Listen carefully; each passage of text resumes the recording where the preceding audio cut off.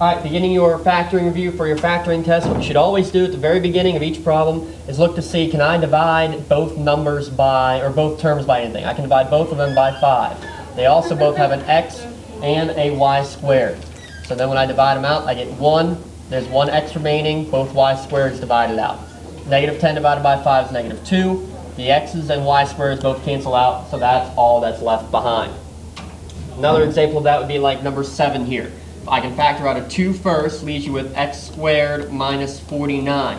Now you also always need to check whatever's left behind in parentheses if you can factor it more. This is a special case called the difference of squares.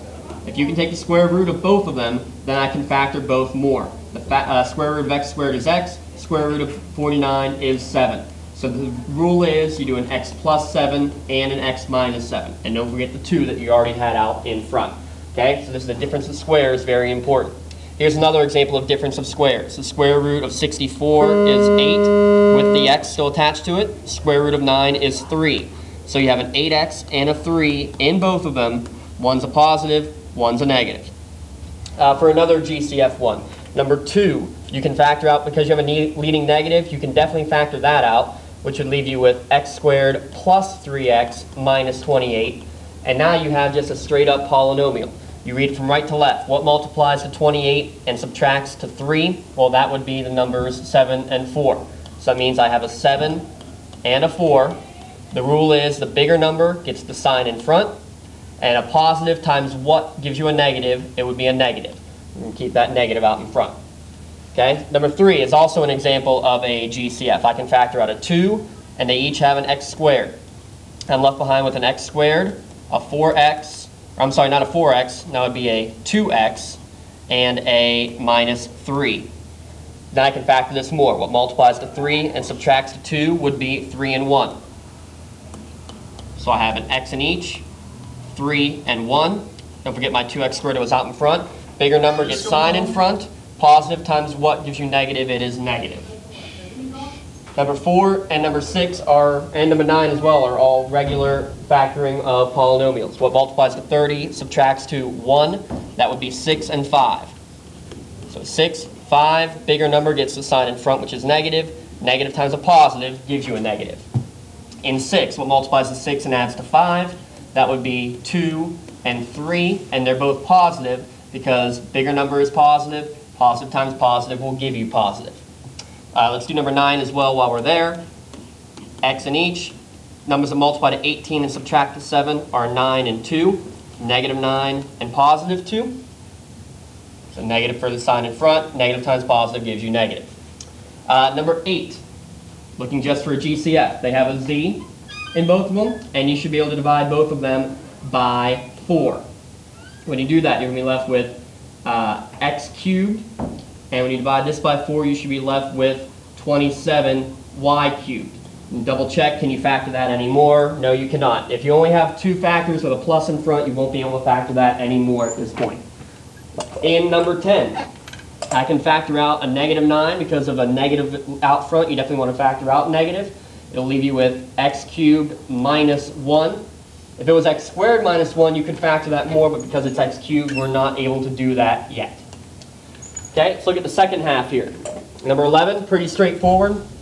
What multiplies to 48 and adds to 16? This one's a little bit tougher to see, so I'm going to list out the factors. Remember, you can do this at any time to try to find ones that work. So this would be 3 and 16. Did I do that right? No. Yeah, 3 and 16, 4 and 12, 6 and 8. Those are all the factors. Which one of those add to 16? That would be 4 and 12. So x with 12, x with 4. What we need, the bigger number's got to have the sign in front. Negative times what gives you positive? It's also negative. Okay, number 12. You have a number out in front, so I got to be able to try to pull something out. I can't divide any of those by the same number, and none of them have a term in common. So this one's already in factored form, can't do anything more with it. Number 13. Factors of 81 to add to 18 are 9 and 9. So x with 9, x with 9. Bigger number gets signed in front. Well, they're both positive because they're both equally big. Another way to write this would be x plus 9, the quantity squared. In number 14, they all have a y in common. They all have a 3 in common. When you divide those out, I'll have x squared minus 4x and minus 21. So now I can factor that more. What multiplies to 21 and subtracts to 4? That's going to be 7 and 3. So I'll have x with 7, x with 3. Bigger number gets the sign in front. Negative times what gives me negative in the back? It'd be positive. 3y staying out in front. Okay, let me take 20 real quick because it's a difference of squares again. 4x and 1 for both of them. And remember, with difference of squares, one's positive, one's negative. With this one here, I can take the square root of both of them, but because of the plus in front, you can't do anything with it. It's already in factored form. Let's do 19. I can factor out an 8, leaving me with x cubed minus 8y cubed. Check and see if I can factor that anymore, which I cannot. Um, numbers 16, 17, and 18 are all going to be factored by grouping, where you're going to take the first set and the second set. I can factor out a 5x squared from the first part, leaving me with 2x minus 3. I can factor out negative 2 because that leading negative, I have to factor out a negative, and it'll also leave me with 2x minus 3. My two factors are, the two guys in parentheses should be the same, and the guys that are left behind is my other factor. Alright, same thing with this one. From the first box, I can factor out an ay squared, which will leave me with an a minus y.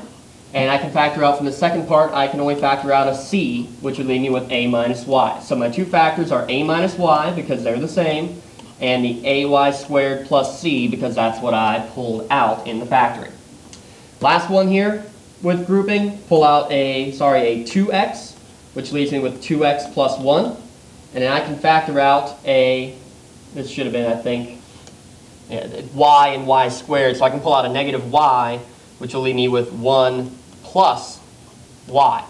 Now, are these the same things on the inside? No, they aren't, so we can't do factor by grouping, so this one cannot be factored any further. There you have it. You have a picture of all of them tomorrow. Best of luck.